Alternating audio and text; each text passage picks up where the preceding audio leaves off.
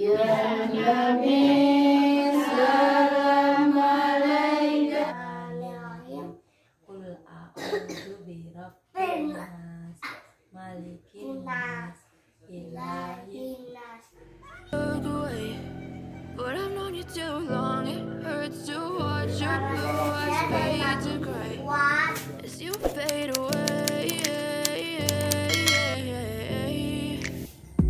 Hai hai, Assalamualaikum semuanya. Bagaimana kabar kalian semua teman-teman? Semoga selalu diberi kesehatan, panjang umur, murah rizki, dan selalu bahagia ya. Oke deh, seperti yang kalian lihat dan baca di cuplikan sebelumnya Ini adalah vlog gabungan ya teman-teman. Vlog gabungan saat aku dan keluarga kecilku di rumah Uti dan di rumahku sendiri. Kenapa aku gabung? Karena memang ketika aku di rumahnya Uti itu hanya ngesut sedikit. Jadi aku gabung aja ya teman-teman. Jadi ceritanya ini eh, di rumah Uti itu ada acara rutinan yasinan itu ya teman-teman bertepatan dengan satu tahunnya adik adik Syakila. Jadi Uti mau e, melaksanakan tasyakuran sekalian di acaranya Uti itu di rutinannya Uti itu. Yang biasanya hanya acara susunan acaranya hanya membaca surah yasin tahlil dan tausiah. Ini ditambahi dengan uh, uh, pembacaan sholawat Nabi karena ada acara tasyakuran adik Syakila. Oh iya teman-teman, mohon maaf ya. Di voice overku kali ini agak agak berisik ya teman-teman. Karena memang kakak lagi teriak-teriak di luar. Dia sedang nonton TV sambil nyanyi-nyanyi. Oke deh teman-teman. Biasanya bukan biasanya ya karena adanya tasyakuran satu tahunnya adik jadi dibacakan pembacaan sholawat nabi. Sekalian memotong sebagian rambut dari adik. Karena adik lahirnya itu tidak di rumahnya Uti ini lahirnya di rumah adik sendiri rumahku sendiri. Jadi acara tasyakuran adik itu baru dilaksanakan kali ini. Itu semua adalah teman-temannya Uti ya teman-teman.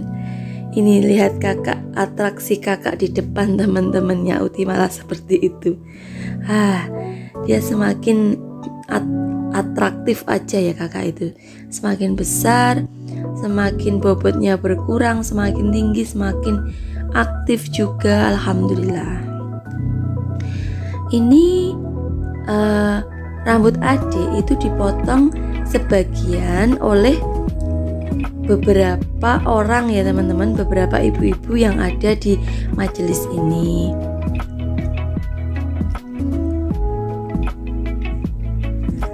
Awalnya adik itu tidur teman-teman tadi itu. Awalnya adik tidur karena memang sangat ngantuk sekali. Siangnya tidak tidur. Tapi tetapi tetap digendongan aku karena memang rencananya mau dikirapkan seperti ini. Jadi aku takut kalau aku taruh di kasur nanti aku ambil dia terbangun. Ternyata setelah aku bawa ke depan karena uh, mungkin bagi dia berisik ya suara ada mikrofon seperti itu jadi dia bangun. Ketika dipotong tuh dia bangun makanya aku agak kenceng me, apa namanya me, memegang kepalanya adik biar tidak terluka. Oke deh teman-teman. Aku aku sudah hanya sedikit aja ya teman-teman untuk acaranya adik tadi. Ini aku sudah balik ke rumah. Dua hari setelahnya itu aku balik ke rumah. Ini aku sedang ngajari kakak mengaji. Karena di sekolahannya tuh juga ada acara mengaji setelah pembelajaran. Ini aku nyemak gitu teman-teman ya menyemak uh, ngajinya kakak biar ketika di sekolahan dia bisa lancar. Alhamdulillah kakak itu kalau disuruh mengaji itu agak sulit-sulit enak itu teman-teman ya. Sulitnya itu kalau uh, mulanya diajak ngaji itu ada aja alasannya tapi kalau sudah di tengah-tengah dia sudah lancar. Maksudnya lancar itu dia mau diajari mengaji. Tapi kadang-kadang memang sering lupa sih dia. Huruf hijaya yang ini itu apa itu itu apa. Tapi tidak apa-apa aku tetap sabar untuk mengajarinya. Dan uh, berulang-ulang aku mengajarinya karena uh, aku yakin kalau memang uh, aku mengajarinya secara berulang-ulang dia juga akan selalu ingat. Seperti itu teman-teman ya Oke deh ini mengajinya mengaji ya sudah selesai kita mengaji uh, ini hafalan surah teman-teman ya hafalan surah Al-Ikhlas Anas dan Al-Asr dan juga doa sesudah makan. Alhamdulillah kakak sudah, alhamdulillah kakak sudah hmm, hafal untuk semuanya. Hanya saja surah Anasnya tiga surah belakang itu agak lupa. Ini kakak nggak pakai kopiah ya teman-teman soalnya dia itu susah kalau suruh pakai kopiah kalau nggak ada acara tertentu itu. Alhamdulillahirrahmanirrahim Acara mengajari ngaji anak sudah selesai teman-teman Ini aku mau bongkar-bongkar bontotanku dari ibu Yang dibawakan ibu uh, Kali ini bontotannya sangat banyak sekali. Mulai dari nasi, lauk, sayur uh, Apa namanya? Cemilan aduh udah dibawakan bunda uh, dibawakan ibu semuanya. Buah juga pisang itu. Alhamdulillahirobbilalamin. Ini sambal ya teman-teman. Sudah dibuatkan juga sama ibu. Tinggal ngasih apa namanya kecap. Karena ini menunya adalah soto ayam. Jadi ini aku tadi nuangkan ayam suwirnya. Lalu ada kecambah ada sambelnya. Ini juga dibawakan kerupuk juga teman-teman, kerupuk dua toples besar-besar. Jadi aku tinggal makan aja, alhamdulillah. Lalu ini ada pia juga. Ini pia khas dari daerah rumahku ya teman-teman. Rasanya endul banget. Kalau versiku ya teman-teman, rasanya enak banget, empuk banget. Ini juga dibawakan oleh ibu. Ini aku tata. Tadi dibawakan tiga karena sudah dibawa sudah dimakan pak suami sama kakak. Jadi tinggal dua tak jadikan satu aja. Biar ringkes itu teman-teman ya. Nah makan tempat banyak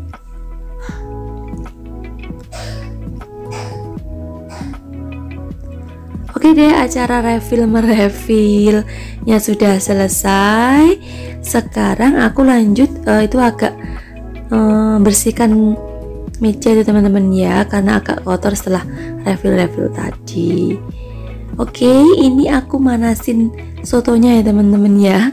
Karena ibu tadi pesen kalau sampai rumah segera saja dipanasin. Takutnya nanti basi karena ketika masukkan ke dalam apa dibungkus itu tadi itu agak dalam keadaan panas Oke deh teman-teman lanjut ini aku mau nyapu nyapu daerah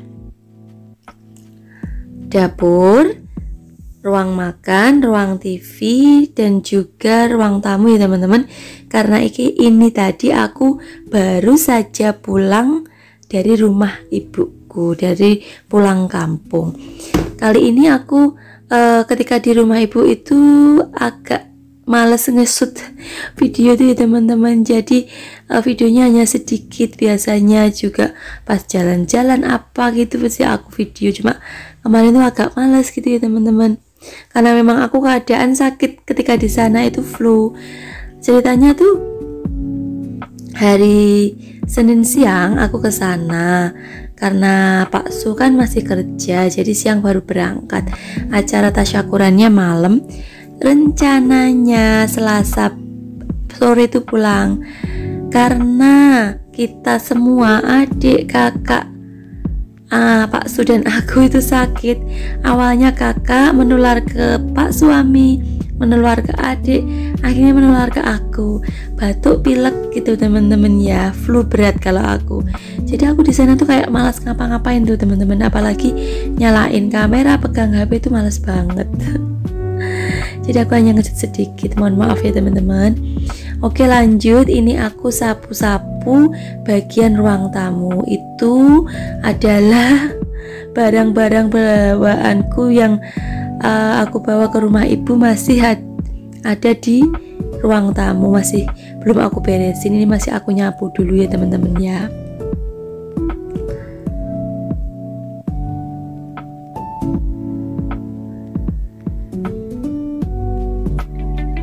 iya tadi belum aku lanjutkan ya ceritanya.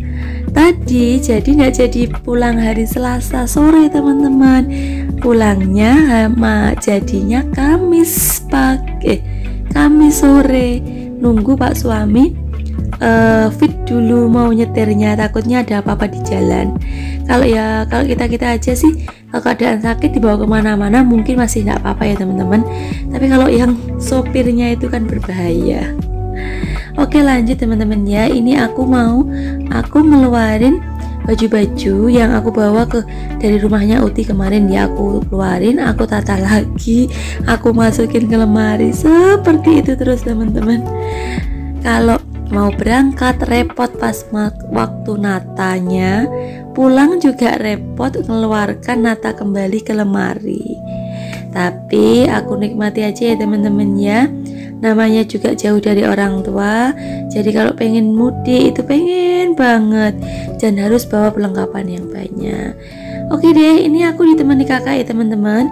Ini kakak itu sambil nonton TV seperti biasa kalau nonton TV dia tuh nggak mau diam. Pasti cerita tanya yang apa yang ada di televisi dan tidak lupa dia juga sambil berdiri karena tidak puas kalau dengan duduk dan tidur. Ini aku nata-nata bajunya adik yang uh, dari tas tadi ya teman-teman. Ini mau aku masukkan ke dalam lemari lagi. Tapi ini sebagian tadi uh, baju yang aku jemur sebelum aku berangkat ke rumah Uti dan aku tadi ambilin jemurannya dan aku lipat-lipat. Ini aku cepetin ya teman-teman untuk melipatnya karena takutnya kalian itu bosen. Melihat aku melipat lipat baju dan aku cepet-cepetin. Ini juga baju yang aku bawa ke rumah putih ya teman-teman ya. Aku rapikan lagi karena di sana itu aku juga nyuci juga. Karena aku nggak mau bawa baju banyak jadi cuci kering pakai. Mungkin hanya bawa 2 sampai 3 potong aja dicuci di, terus kering pakai lagi. Mungkin voice over kali ini juga uh, suaraku agak beda ya teman-teman karena memang aku sekarang itu masih masa penyembuhan. Pileknya sudah tidak keluar tapi agak bindeng-bindeng gitu ya teman-teman. Oke teman-teman, tadi itu pulang dari perjalanan pulang dari rumahnya Uti itu aku mampir ke toko susu dan pampers ya karena memang stok susu dan pampersnya adik uh, itu habis. Dan susu stok susunya kakak pun juga habis. Ini aku bongkar-bongkar ya teman-teman. Aku beli tiga box Mami Poco yang ukuran XL kan. Walaupun adik itu masih umur satu tahun tapi pakainya XL karena memang gemoy habis. Tiga box susu rasa strawberry yang 350 gram dan BB Love 2 yang ukuran 1800 gram itu dua box. Aku beli yang ukuran segini teman-teman ya. Karena memang lebih lebih apa ya lebih hemat kalau baby love itu. Karena adik kan memang sering minum uh, minum susu. Beda dengan kakak yang minum susu hanya mungkin 2 sampai 3 kali sehari. Karena sudah tidak ngedot itu teman-teman ya. Alhamdulillah Alhamdulillah stok susu di rumah sudah lengkap dan aku juga lupa beli Romina Puff juga ya cuma satu aja nyoba di adik ternyata dia suka teman-teman oke deh teman-teman ini karena sudah malam jadi aku tutup pintunya gordennya jadi sampai di sini dulu ya videoku sampai jumpa di video selanjutnya Terima kasih sudah menonton. Wassalamualaikum warahmatullahi wabarakatuh. Bye bye.